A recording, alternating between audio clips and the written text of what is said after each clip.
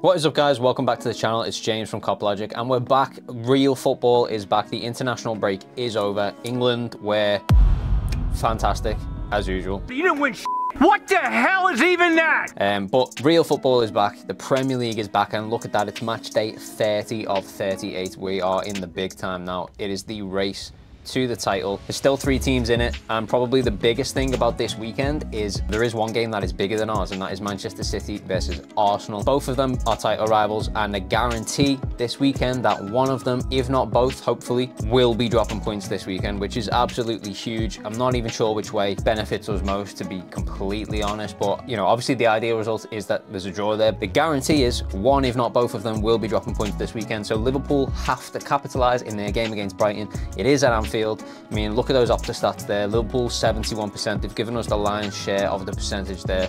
So, you know, we have to win this game. It's a must win. We can go top of the table because we play before the City game, which is at the Etihad, by the way. So you've got to put City as favourites. The chances are they win that game, but any slip in the road for them is good for us. So let's wait and see what happens there. But we've got a chance to leapfrog Arsenal and go top of the table before that game even kicks off. And we absolutely have to take advantage of that. So this is your match preview for Liverpool versus Brighton. So as always, before we get into the team, let's take a look statistically at what's going on with these two teams. So during the last seven meetings between Liverpool and Brighton at Anfield specifically, Liverpool have won four times with two draws and one loss. Uh, or you know one win to Brighton, whatever way you want to look at it. Now that kind of shows that you know although it's dominant for Liverpool, this could be a banana skin. And Brighton, I do think are one of those teams where even right now in poor form, you would expect them to lose you just never know. You, you have to be careful, is what I'm saying. You cannot underestimate the potential that Brighton have. In the last 16 games, Liverpool have won nine against Brighton with three wins to Brighton and overwhelming dominance for Liverpool, as I said, but certainly, you know, it's not cut and dry that Liverpool are going to win this game based on those stats. You would expect it though, especially with injuries, which we'll get into in a second. Last season's meeting at Anfield was a 3-3 draw, but again, you know, there is a caveat there that Liverpool were not great last season, and this season we're, we're challenging for a title. We were challenging on all four fronts. Already got one trophy under our belt this season. We're still in the Europa League. We are still very much in this title race with a chance in literally this game to go top of the table. So yeah, it's a totally different Liverpool to last year. I wouldn't take too much away from that. We're still on a 31 game undefeated streak at home as well. And Brighton conversely have lost their last three games away in a row. So hugely positive home record for Liverpool and a terrible away record for Brighton. You would hope culminates in the perfect outcome for Liverpool, and that is a win at Anfield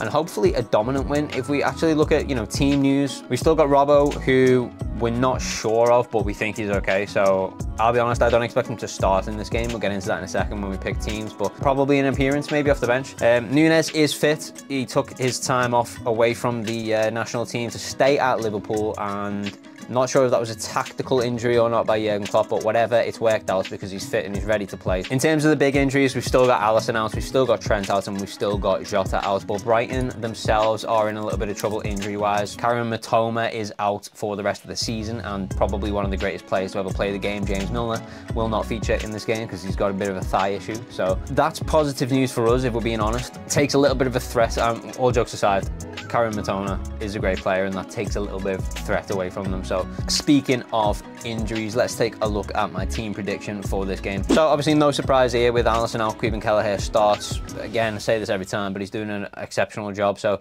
no issues there. So the two centre-backs both are fit and ready to go, so I'm going Virgil van Dijk and Ibrahim Konate. As I said, it's match day 30 of 38 now. We are in the big leagues. This is it. This is the run for the title. We have to be putting our strongest teams out every single time. I honestly think we have to be prioritising the Premier League over the Europa League. The level of competition is higher in the Premier League for a start, so if you're ever going to play a slightly weakened team, it would have to be in the Europa League. We cannot let this chance slip. Mm.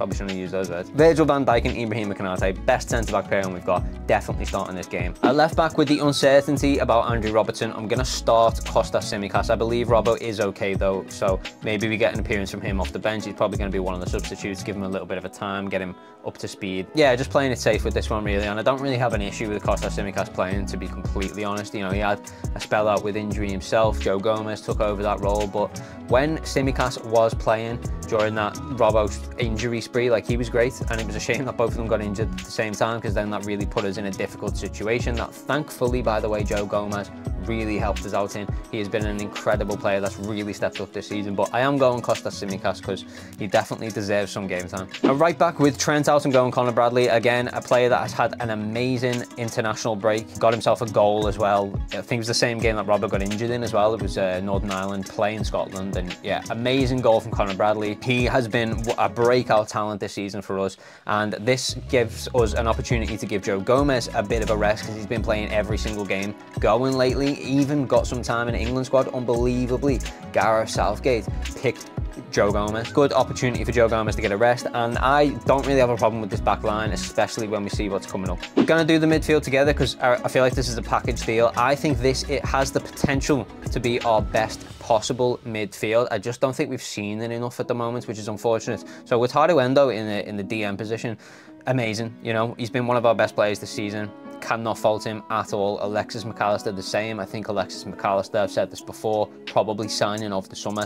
Both of these players are genuinely world class in my opinion. And I think Dominik Szoboszlai, we've seen in spells what he's capable of. He also had a really good international break, by the way, so hopefully he brings that form back with him. But I think through various injury spells for different players and the Asian Cup as well, we haven't had a chance to see this midfield together enough. And I think with enough time to gel and if we can just see more of them I think this has the potential to be our greatest midfield so while all three are fit I'm definitely playing them and let's hope we see some magic from that. Right wing obviously has to be Mo Salah still in the race for that golden boot as well so he's going to be fired up he's going to want goals especially as we're coming into the final eight games now of the season but yeah it has to be Mo Salah when he's fit he obviously plays. Left wing if we're being honest has to be Luis Diaz with Diogo Jota still out injured the choice really comes down to Luis Diaz or Cody Gakpo and I actually think I would like to see more from both of them.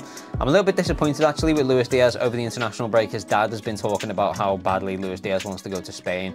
You know, they're talking about Barcelona, Madrid, all these different teams, even Atletico was mentioned. And I just feel like you haven't done enough at Liverpool yet, mate. To be, you know, the season he's had as well. And it, it, I don't know, I just think potentially a little bit disrespectful, to be honest, to be talking about going to Barcelona and Madrid and stuff. And I will caveat that by saying his dad did say right now he is committed to Liverpool, but you know, I, I don't like that. I don't like the fact that as soon as he's free in a way with his national side, he can start talking about different teams and where he wants to go. And to be fair, it's not him talking, it's his dad, but it is his dad. Like, you can't just be like, can you stop talking about Spain? Tell my man, shut up. Shut up. I just feel like it's a little bit disrespectful. It's not It's not like he's one of these Galactico signings we've made and he's lit the world up and we're thinking, oh, Madrid are come knocking any day now, like to be talking about Spain, do you know what I mean? It, I'd like to see more goals from Luis Diaz, and I think if Diogo Jota was fit, he would definitely be taking up that role at the moment because between between Diaz and Cody Gakpo, Diaz is definitely the better performing player, but you know, the pair of them I don't think have performed quite as well as I would imagine. Luis Diaz, amazing when he first came in, really hit the ground running, but for one reason or another,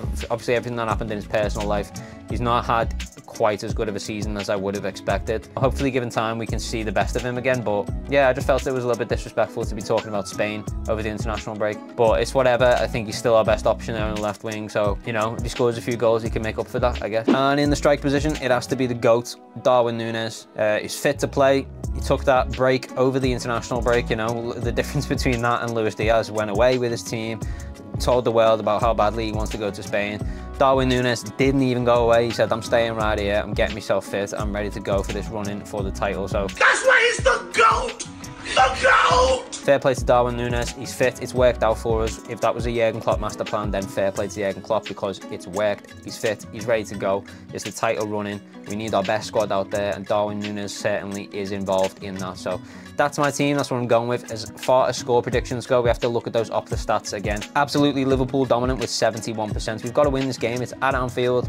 You know, it's a chance to go back top of the table before this City-Arsenal clash. So huge game for us to lay a statement down before they kick off, put the pressure on them. I'm going to go with, I actually think this, right, this has potential to be a huge scoreline for Liverpool because Brighton aren't in a great place right now and they've got terrible away form. Um, I'm not just saying this to sit on the fence, but it also has the potential to be a banana skin because Brighton are one of those teams where they can just sort of show up against the big side, against one of the big six, and we've seen that time and time again. So it honestly could be a massive blowout win for Liverpool, but it also could be a banana skin. But I'm going to go with the prior. Um, well, I'll go. I'm going to go Liverpool three, Brighton nil.